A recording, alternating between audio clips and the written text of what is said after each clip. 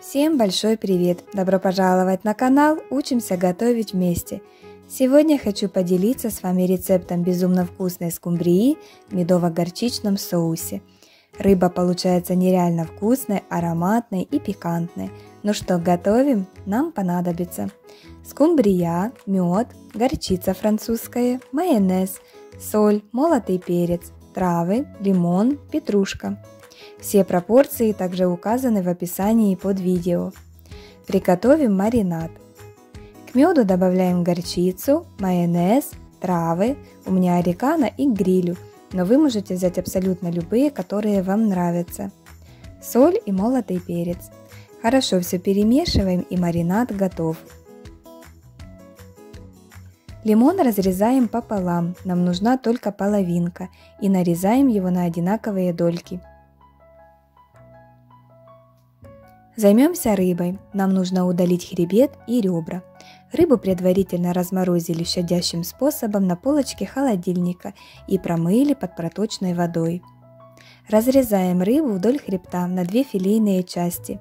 Отрезаем хвостик и вырезаем хребет вместе с костями.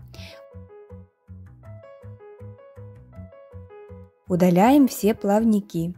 И еще раз промываем под проточной водой. Перед тем, как нарезать рыбу, подготовим лодочки из фольги. Берем два слоя фольги и заворачиваем края, делая высоту примерно 1 см, формируя лодочку. Делаем две штуки.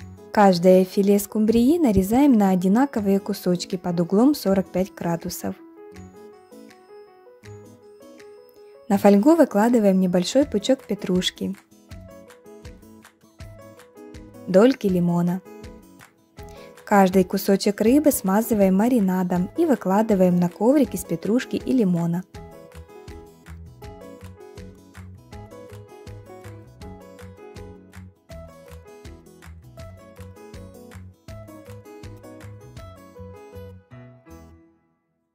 Верх рыбы также промазываем маринадом. Два филе я уложила вальтом в наши лодочки, так они равномерно пропекутся. Отправляем скумбрию в заранее разогретую духовку до 180 градусов на 40-45 минут. Но, как всегда, все зависит от вашей духовки. Скумбрия в медово-горчичном маринаде готова. У меня она готовилась 40 минут. Очень ароматная, нежная и сочная. Достойное блюдо на праздничный стол.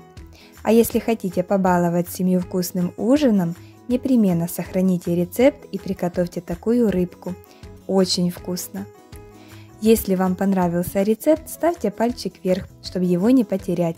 Подписывайтесь на канал, чтобы не пропустить новые вкусные видео. Впереди еще много интересного. А я, как всегда, желаю вам удачи на кухне. Всем добра и позитива!